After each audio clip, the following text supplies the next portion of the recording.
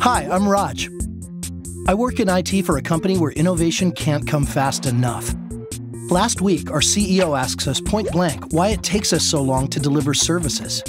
Adam, our network engineer, starts explaining how provisioning network services is complicated stuff. We have to reconfigure switches, routers, firewalls. One mistake in a config file could affect everything. The boss asks if virtualization would help. I tell him, sure, it does. We can spin up virtual machines in seconds. And he says, no, I'm not talking server virtualization. I mean network virtualization. And he shows us an article on how eBay, AT&T, and Rackspace all reduced provisioning time literally from days to seconds. So he leaves, and Adam says, It's all you, virtual man. Just don't touch my network. Okay, I did a little homework and came upon VMware NSX. I installed the software and tested it out. The boss was right. I could spin up a network like I spin up a VM. It was easy. A couple of days later, I grab Adam to demonstrate. Check it out. Here, I add a couple of network segments, some VMs, drop a router in, apply a security profile, and bam, a complete multi-tier virtual network. I can save it, delete it, restore it, just like I do for VMs. He was stunned. He says, What do you mean by a virtual network? A VLAN? And I said, No, not a VLAN, a virtual network. It's just like a physical network, except the network is in software. Our applications don't see any difference. It works by distributing network software in hypervisors across the data center between the physical network and our applications. Just think of it as a network hypervisor.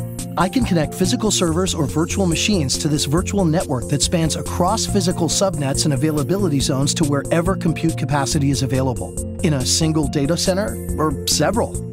So he just tells me I'm adding more complexity on top of everything his team already has to deal with. And I'm like, dude, I just provisioned a multi tier network environment in 15 seconds. How's that add complexity? He tells me, no, you just drew a picture in 15 seconds that my team has to provision. Nope, already provisioned it without touching the network. Again, just like a VM. Look, the virtual network is only using the existing physical network as an IP backplane. Provisioning network services in software simplifies the underlying network. There's no VLAN, ACL, or firewall configuration changes. Your team gets away from tactical change management and gets back to the real stuff network design, capacity planning, and traffic engineering. He's not sold yet. So you're talking about an overlay. What about troubleshooting? I lose all kinds of visibility. Nope. Think about it. Most troubleshooting is caused by manual config mistakes. Automatic provisioning fixes that. And if we find a connectivity problem, we'll actually have more detail about the connected hypervisors. We'll troubleshoot the same way we do now, but faster. So he says, okay, but what about performance and scale? There's no way software networks deliver the same performance as hardware. No, I already tested it. Turns out every hypervisor already has a vSwitch, so there's very little overhead, and I can saturate 10 gig links coming out of the server.